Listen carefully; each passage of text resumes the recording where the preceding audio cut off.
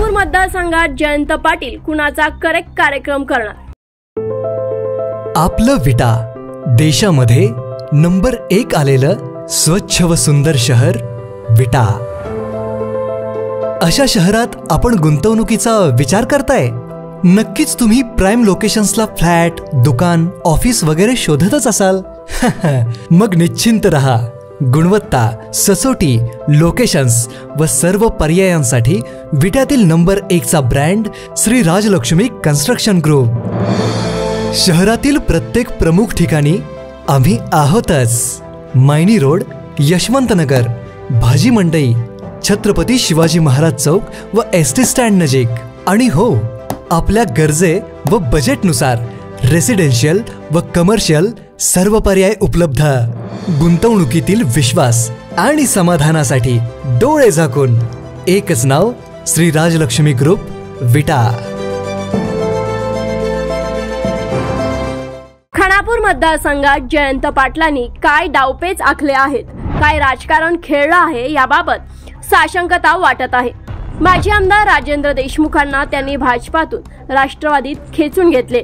त्यांच्या हाती तुतारी दिली पण उमेदवारी मागायला गेल्यावर त्यांच्याच हाती गाजर ठेवत उमेदवारी वैभव पाटलांना दिली. या एकूण उलाढाली पाहता जयंत पाटलांच्या डोक्यात काय चाललंय हे कळायला मार्ग नाही. त्यांना या मतदारसंघात नक्की कुणाचा करेक्ट कार्यक्रम करायचा आहे का असा प्रश्न पडल्याशिवाय राहत नाही. जयंत पाटलांनी मनावर घेतले असते तर त्यांना माजी आमदार राजेंद्र देशमुख यांची बंडखोरी थांबवता आली नसती काय? देशमुखांची बंडखोरी ते का थांबवू शकले नाहीत? हा प्रश्न पडल्याशिवाय राहत नाही. गेल्या दोन वर्षांपासून खानापूर मतदारसंघात एकास एक लढत देण्याचं ठरवलं जात होते. बाबरांच्या विरोधात एकच उमेदवार द्यायचं डावपे चाकले जात होते. पण तसेच झाले नाही. जयंतरावांनी पक्षात आणलेला माणूसच बंडखोरी कसा करतो या मतदारसंघात शरद पवारांच्या राष्ट्रवादीचे म्हणजेच जयंत पाटलांचे निष्ठावंत शिलेदार असलेले लोक अजूनही सक्रिय नाहीत. माजी जिल्हा परिषद सदस्य बाबासाहेब मुळीक आणि त्यांचा गट अजूनही प्रचारात दिसत नाही.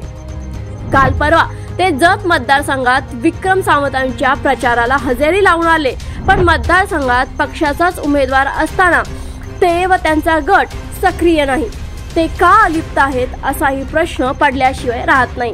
या गटाने राजेंद्र देशमुखांच्या उमेदवारीची मागणी पक्षाकडे केल्याचं समजत आहे. त्यांच्या चुप्पीच्या मागे जयंतरावांचे राजकारण तर नाही ना असा प्रश्न पडतो. राष्ट्रवादीचे विद्यमान उमेदवार वैभव पाटील हे जयंत पाटलांना सोडून अजित पवारांच्या गटात गेले होते. दोन अडीचशे गाड्या घेऊन ते जयंत पाटलांच्या मतदारसंघातच अजित पवारांना भेटायला गेले होते. तेथे जाऊन त्यांनी शक्ती प्रदर्शन केले होते. त्यानंतर त्यांनी जयंतरावांच्या नाकावर टिचून अजित पवारांच्या गटाचे जिल्हाध्यक्ष पद घेतले होते. याचा राग जयंत पाटलांना आहे की काय? या रागाचे उट्टे जयंत पाटील काढणार आहेत की काय? असाही प्रश्न पडल्याशिवाय राहत नाही. अनिल बाबर आणि जयंतरावांच्यातही संघर्ष होता. टप्प्यात आणून कार्यक्रम करण्याची सवय जयंतरावांना आहे. त्यांच्या टप्प्यात आल्यावर करेक्ट कार्यक्रम हा डायलॉग प्रसिद्ध आहे. त्यामुळे खानापूर मतदारसंघात ते कुणाचा करेक्ट कार्यक्रम करणार आहेत हा प्रश्न पडल्याशिवाय राहत नाही.